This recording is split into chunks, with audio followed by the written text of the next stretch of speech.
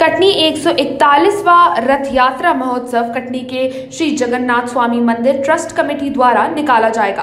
प्रतिवर्ष अनुसार जगदीश स्वामी मंदिर ट्रस्ट कमेटी द्वारा इस वर्ष भी बड़े ही हर्षोल्लास एवं धूमधाम के साथ श्री श्री 1008 भगवान श्री जगन्नाथ स्वामी की रथ यात्रा महोत्सव 2023 का आयोजन किया गया है। इस रथ यात्रा में भगवान श्री दिव्य रूप में दर्शन देंगे। यह रथ यात्रा 20 जून मंगलवार को शाम चार बजे मंदिर प्रांगण से प्रारंभ होगी। इस दौरान विभिन्न कार्यक्रम का आयोजन मंदिर अमेठी ट्रस्ट द्वारा किया गया है, जिसमें 19 जून को विशाल वाहन रैली 20 जून को रथ यात्रा प्रारंभ होगी। 27 जून माता जानकी शोभा यात्रा 27 जून मंगलवार रथ वापसी, शाम छह बजे राधा कृष्ण मंदिर से एवं उनतीस जून, एक शाम जगन्नाथ जी के नाम एवं विशाल भंडारा, महाभंडारा 30 जून शुक्रवार के दिन जगन्नाथ चौक स्थित मंदिर प्रांगण में किया जाना है, जिसमें शहर की जनता अपनी सहभागिता निभाते हुए भगवान श्री जगन्नाथ स्वामी जी का आशीर्वाद प्राप्त कर अपनी सहभागिता निभाएगी।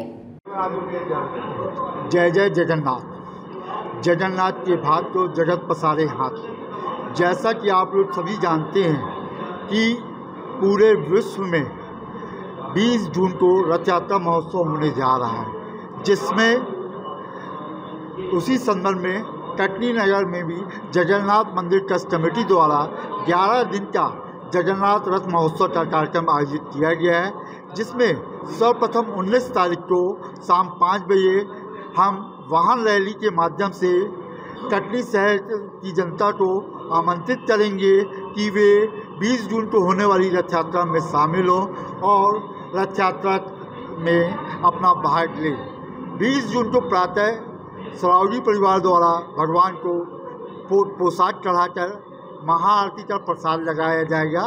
शाम को चार बजे महाप्रभु रथ में विराजेंगे और 1100 दीपों से नगरवासी उनकी महाआरती करते हुए एक जलूस शोभा यात्रा के माध्यम से यहाँ से रवाना होंगे।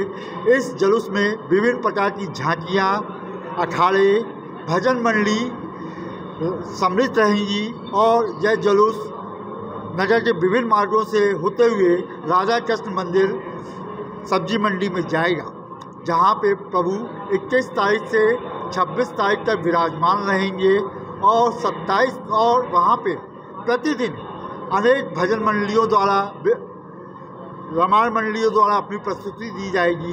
व 21 तारीख को शाम चार सत्ताईस तारीख को शाम चार बजे माता जानकी जगन्नाथ मंदिर से रथ के माध्यम से महाप्रभु को मनाने के लिए सब्ज़ी मंडी स्थित राधा कृष्ण मंदिर जाएँगी।